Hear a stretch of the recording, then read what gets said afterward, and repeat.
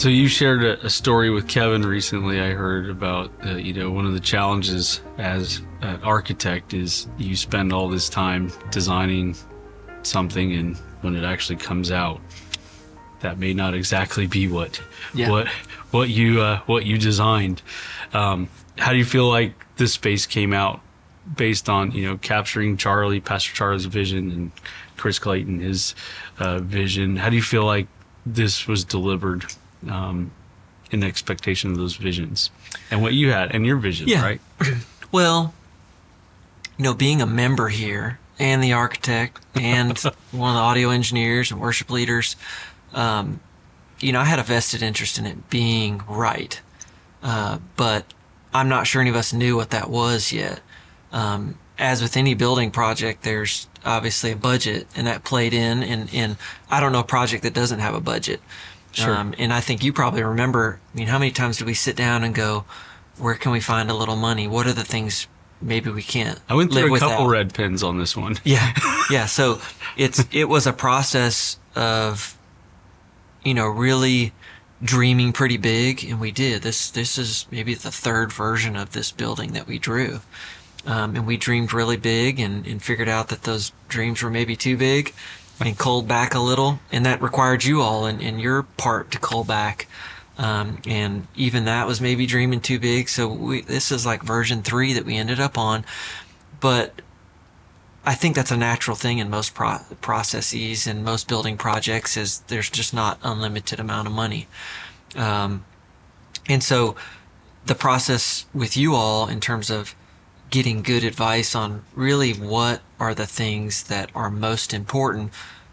I'm not sure Pastor Charlie or myself or the worship pastor Chris knew exactly what they could live and live without. What are the most important things? And so leaning on your all's expertise on these are the things you really don't want to skimp on um, was huge.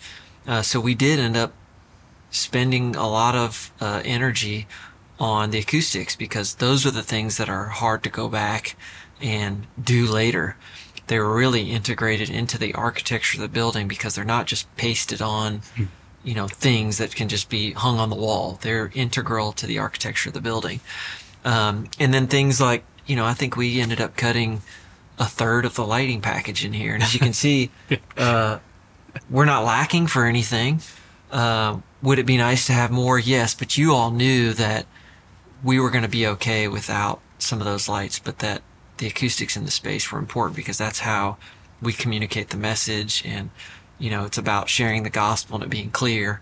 And that was something that you knew that the pastor and the staff should not compromise on. That's the most important. And i think they yeah. agreed with that but it took some explaining on on what was really important in the priorities. So um, so yeah it's it's uh, in terms of vision um, you all helped us find the vision as much as anybody. Um, it was a lot of dreaming. We knew what we wanted to do with the space, and we knew we wanted people to be impacted by it, but we weren't sure how to get there until you all uh, helped us in, that. So, so it's big. It's not just um, a technical thing.